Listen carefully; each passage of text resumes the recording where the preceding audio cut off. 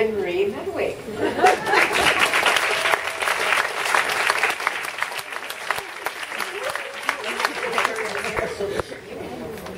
Oh, that's so nice.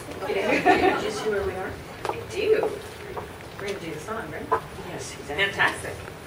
Great. Thank you, everybody, for having me here today. And our honored guests, first of all, for your brave and uh, strong and impassioned words. Thank you for being brave enough and strong enough to share them with us, to share your stories.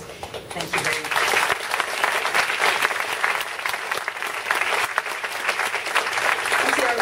To our counselors and to the YWCA staff, thank you very much for having me. I have been looking forward to this day for a very long time, for over a year. And because an opening like this really represents the city of Toronto. This is not as tall as the CN Tower. This is not as glamorous as the Trump Tower.